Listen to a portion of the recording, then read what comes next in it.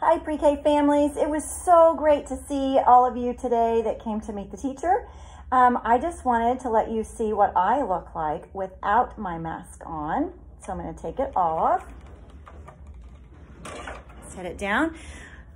Hello, this is what I look like without a mask or a shield on, okay? But you'll still see me in the shield every day at school while we're in the classroom together. All right, so if you did not come to meet the teacher today, our classroom is right next to the library in the little hallway, and you'll see the little tree back here next to our door.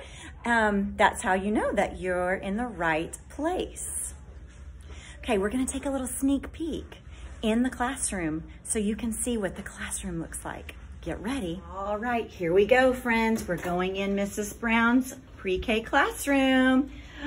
And who is this? This is Mrs. Longfellow. Hello, Mrs. Longfellow. Hi. Hi, everyone. Welcome to pre-K. Mrs. Longfellow is our assistant, and she will be with us every day.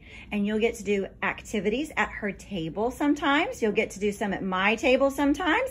And she'll get to go outside to recess with you. So it's great to meet you, Mrs. Longfellow. Nice to meet you too. All right, let's take a little tour of our room. When you come in in the morning, you're gonna put your lunch boxes right down here on this little black shelf behind her table so they're nice and safe until lunchtime.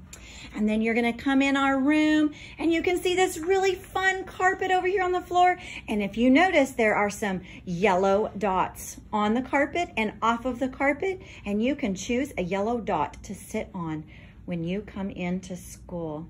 We have lots of fun things in our room. We will be talking all about ourselves, all about Mrs. Brown is first. We have our calendar area and our little library nook. We have Mrs. Brown's teacher table over here where you'll be coming to do some work.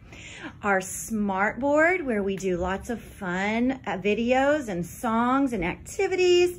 Over here in the other corner and under the window, we have an exciting home living center. So we have a table and chairs. We have some baby dolls, a kitchen. We have so much fun in pre-K and I cannot wait until you are here with us tomorrow.